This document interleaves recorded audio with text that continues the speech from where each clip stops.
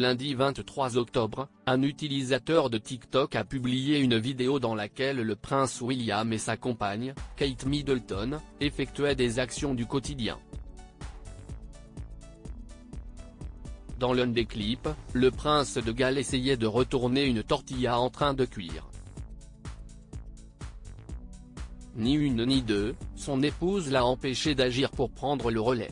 Non, non, arrête, a-t-elle indiqué, sous-entendant qu'il ne le faisait pas de la bonne façon.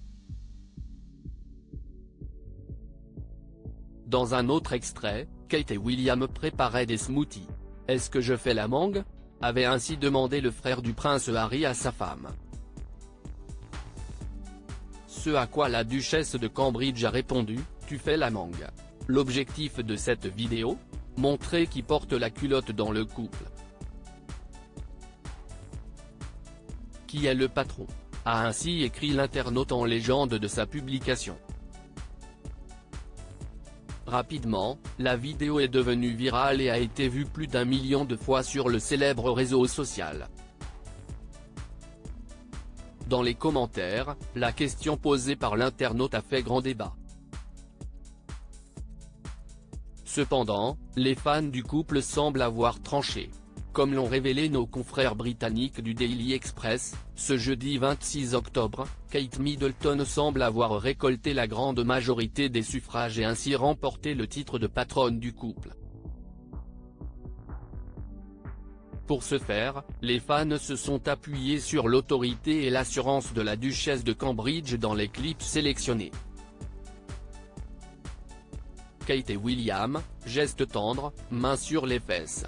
Ces 30 fois où ils ont flirté en public William et Kate, ce moment de complicité très remarqué si les internautes ont débattu de l'autorité de William et Kate, ils ont été unanimes sur un point, le couple affiche une complicité déconcertante. D'ailleurs, le prince et la princesse de Galles ont récemment fait chavirer le cœur de leurs fans. Le 12 octobre dernier, à l'occasion d'un atelier de remise en forme mentale organisé par l'association caritative Sportside, le prince William avait eu un geste rempli de tendresse envers son épouse. Le prince William a remarqué quelque chose sur le visage de sa femme et a levé la main pour l'enlever la princesse Kate a donné un coup rapide à ses cheveux, puis a fait un rapide sourire à la personne avec qui il discutait, a expliqué la journaliste de People, Stéphanie Petit, vendredi 20 octobre. Article écrit en collaboration avec 6 médias.